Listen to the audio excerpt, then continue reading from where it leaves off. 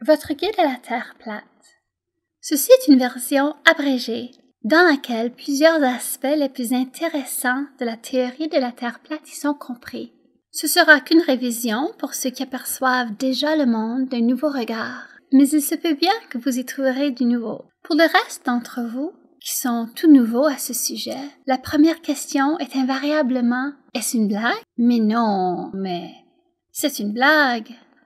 Et voilà notre point de départ, parce que c'est à vrai dire une des connaissances de base de notre enfance. Un et un font deux, et la Terre est un globe. On nous l'enseigne avant tout.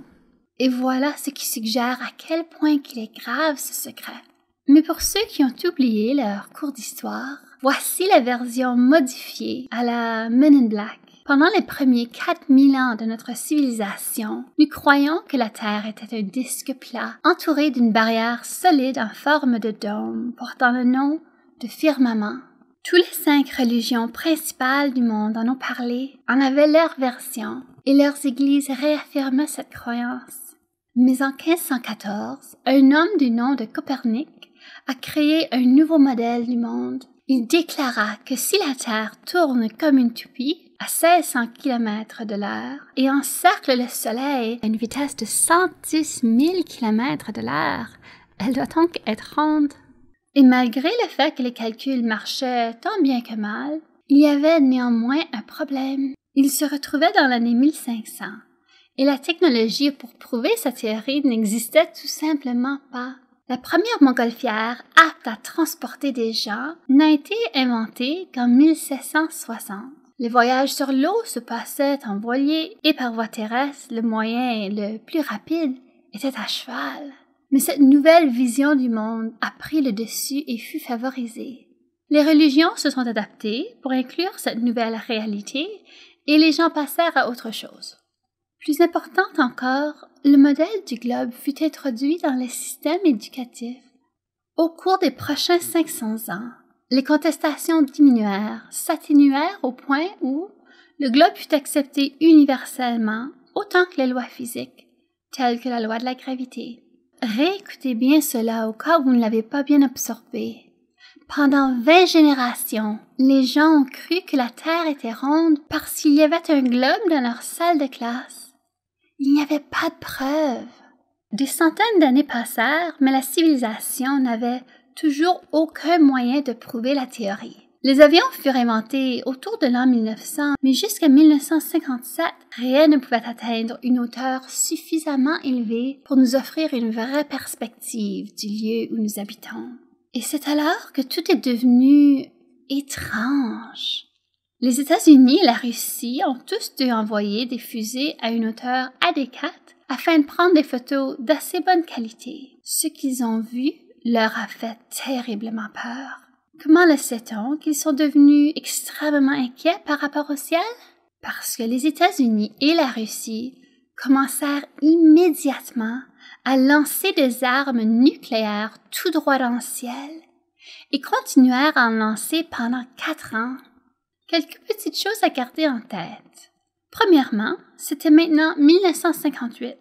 Les armes nucléaires étaient épouvantablement chères et dures à produire. Et celles-ci n'étaient pas les jouets de puissance nominale de 20 kilotonnes dont les États-Unis se sont servis sur Hiroshima.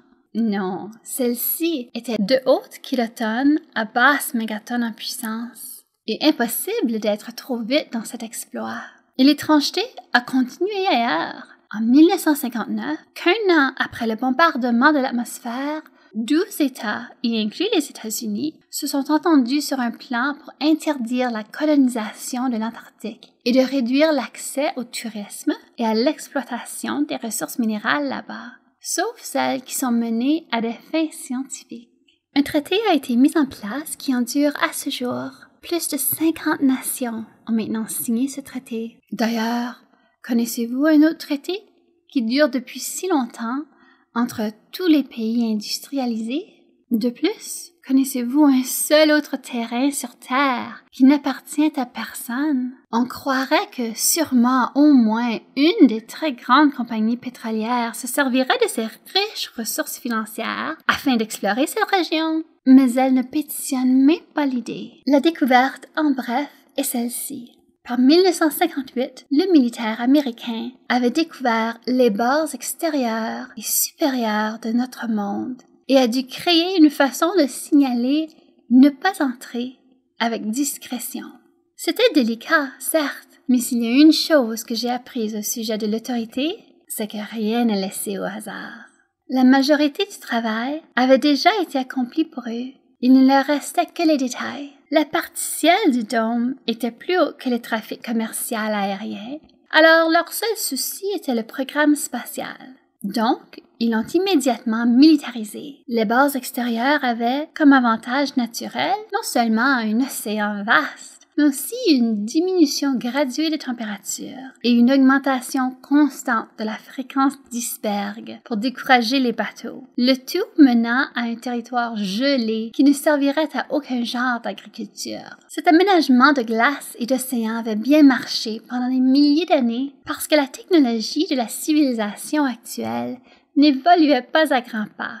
Pour les bords extérieurs, les marins évitaient les mers froides lorsque possible et quant au ciel, les niveaux d'oxygène s'abaissaient suffisamment pour nuire aux gens, même des sommets de montagne un peu plus élevés. Le génie de ce plan vient tout simplement du fait que les hommes sont corrompus par le pouvoir. Une corruption si totale en fait qu'ils préféreraient nous cacher le monde entier que de risquer perdre leur pouvoir au-dessus.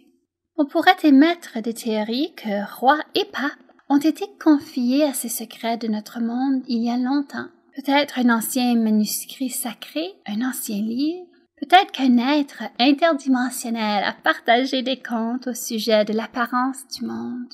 Mais cela a tout été ignoré puisque même les plus puissants dirigeants de l'époque ne pouvaient atteindre les frontières et si pas eux, quelle chance aurait quiconque du grand public? C'est une chose d'entendre parler de ce géant dôme impénétrable, mais c'est toute une autre de le voir.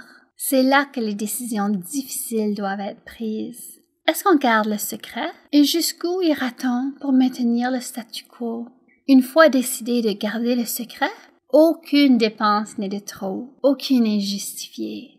La progression rapide de la science diffusée, la science de haut niveau devait être vite abordée. Alors, les missions sur la Lune ont été créées. Matt Powerland, de la canal YouTube The NASA Channel, avait raison de croire qu'il fallait l'événement de la mission de la Lune comme prétexte afin de produire une image de la Terre depuis l'orbite terrestre. Et cela ne pourrait être plus vrai. D'établir NASA comme le coureur de tête de l'exploration de l'espace a aussi détourné les gens qui auraient autrement créé leurs propres entreprises à but lucratif. Les meilleurs ingénieurs, techniciens et pilotes ont été recrutés par le programme spatial de la NASA. Une fois rendus, ils furent compartimentés en fonction du besoin de savoir. Les astronautes sont au courant, mais ils sont tenus au secret professionnel, sous peine de quelconque les motive. Les programmes spatiaux privés sont découragés, sabotés ou absorbés au bercail de la NASA. Des vaisseaux spatiaux privés ne seront pas permis pour plusieurs raisons, dont la plus évidente est la collision avec le dôme lui-même. Les données de télémétrie d'une telle mission indiqueraient une défaillance suite à un impact à une certaine altitude et, si répétée, soulèveraient des questions que la NASA n'est pas prête à répondre. Il y a trois questions perpétuelles au sujet de notre monde qui ne peuvent être éliminées, mais évitées à tout prix. Ce sont les questions que vous devriez vous poser et poser aux autres afin que le voile soit levé. J'aimerais précéder ce qui suit par un grand merci à Max Malone, un théoricien du complot doué qui a la capacité de résumer quoi que ce soit en un seul paragraphe quand possible.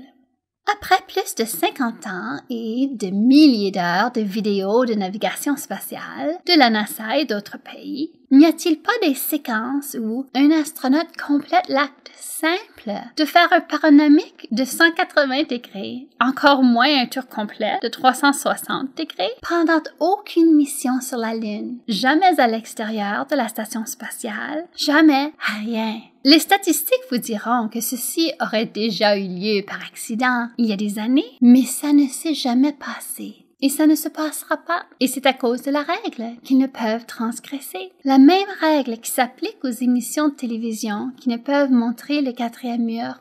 Pourquoi pas? Parce qu'il n'y a aucun quatrième mur à montrer. 2.